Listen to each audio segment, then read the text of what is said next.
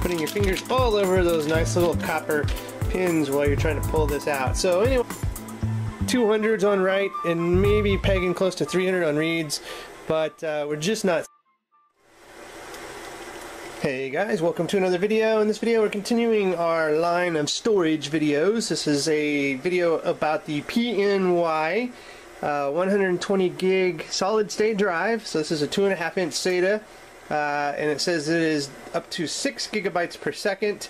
Uh, we will actually test this out and see exactly if it gonna, it's going to uh, get those speeds. Um, sadly, we're going to have to test it via USB 3.0, uh, which is going to be limited to the 5 gigabit throughput. But uh, if, in that case, we should see uh, 500 uh, megabits per second read and write on this bad boy. So we'll see if it even gets to that number. Um, so you can see here, this is the uh, PNY, like I said, and uh, shockproof, no moving parts, lower power consumption. They do have a nice three-year warranty on it. Um, so uh, let's see, Sandforce 22XX series on the controller, and 128-bit AES, which is uh, encryption uh, if you want to encrypt it. And uh, you know, there you go. There's a little bit of its information, and uh, you know, solid state are normally really fast drives. Now, there, there's varying levels of solid state drives out there. That's why we're going to take a look at this one from PNY. This one's a really affordable drive. So when I saw the price point and that it actually boasts the 6 uh, gigabits per second, I thought, well, let's just check this drive out and see if it's going to live up to its type. So you do get a little uh, SATA uh, cable there. Whoops. Give it a sling. And then the actual drive itself. Not a whole lot to see here in the box. What, the, what we're going to do here is actually pause this video and uh, hook this up to a MacBook Air through the USB 3.0 port um, and uh, run some speed tests on it. So here as you can see here is the actual drive itself. Get it out of the little packaging. Try to get it off camera here. Trying not to touch the controllers as much as possible in here. But They don't make it very easy to get it out of the bag and not touch the controllers. I feel like this should probably be in the other way so you're not putting your fingers all over those nice little copper pins while you're trying to pull this out. So anyway, here is the drive itself. Like I said, 120 gigs, SATA 3, 6 gigabits per second. Um, serial numbers, yada yada yada, the 120 GL dash XLR kind of sounds like a car. Uh, and then the PNY solid state here on the front. So let's go ahead. I'm going to stop the video. We're going to load this up and test it and look at some uh, I.O. diagnostics just to see what we're getting. And like I said, we're going to use USB 3.0, which will not let it hit it's 6 gigabits per second. It's just a limitation of USB 3.0. But if we can hit 500 per second, or megabits per second, then I would be good. So I'm gonna pause video and we'll be right back guys.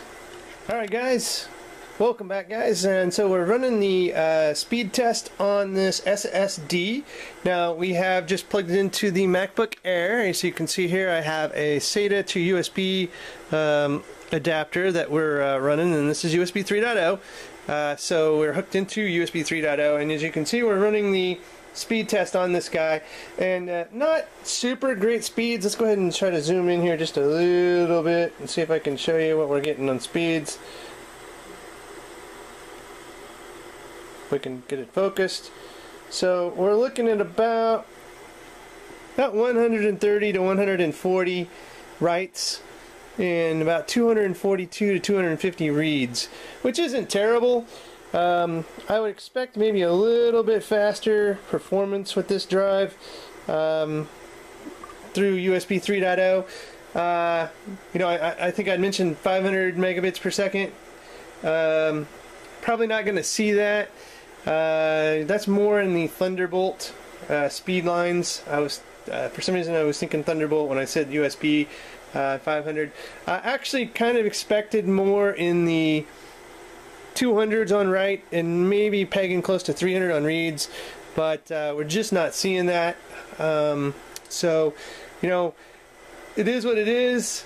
Um, we can do some more different tests with uh, this drive, so uh, there'll be some follow-up videos. I'm actually going to put this in a Brix computer uh, and then actually try to run some speed tests on it through that as well. So that'll be a video that's coming up down the road uh, to check that out. And then uh, also we're going to run some more speed tests with different kinds of hard drives or SSDs on this same setup and see what we get and kind of compare them. And uh, I'll have a little chart out there, you know, like the PNY versus the uh, Kingston, and maybe versus the Samsung, etc., etc. So anyway, guys, check the show notes for a link. Uh, this is, you know, it's a it's a good solid SSD. It's not terrible for the price that they have on it. It's a great bargain. If you're looking for a 120 gig SSD to put as your OS drive and boot from it, then this is the one for you. Uh, there's no problem whatsoever with these speeds. These are, um, you know, I would say low to mid range on what you could see from an SSD performance, especially through USB 3.0. If this was just hooked directly into my computer, uh, directly into the controller, we'd see better speeds. Again, um, you know, not a whole lot better because we are not close to the limitations of USB 3.0. So I wouldn't anticipate blowing it out of the water much more than what we're seeing here. Um, for uh, speeds. But uh, anyway, guys, if you like this video, give me a thumbs up and a subscription to the channel. And as always, guys, thanks for watching and have a good one.